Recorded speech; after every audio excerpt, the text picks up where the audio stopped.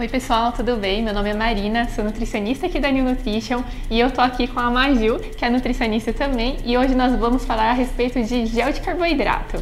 Maju, conta pra gente um pouquinho mais sobre o que é o gel de carboidrato. Bom, o gel de carboidrato ele é um suplemento energético à base de carboidratos de rápida digestibilidade. Eles vão fornecer energia de uma maneira mais rápida para o atleta durante treinos de longa duração.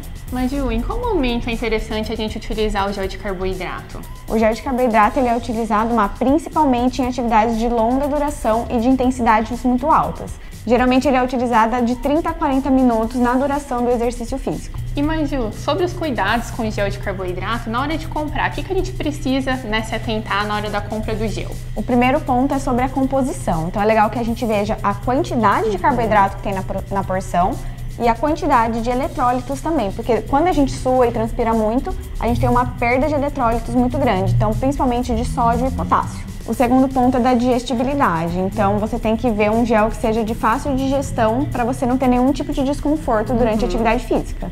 Um ponto muito importante também, Maia, é sobre o sabor e a textura do gel.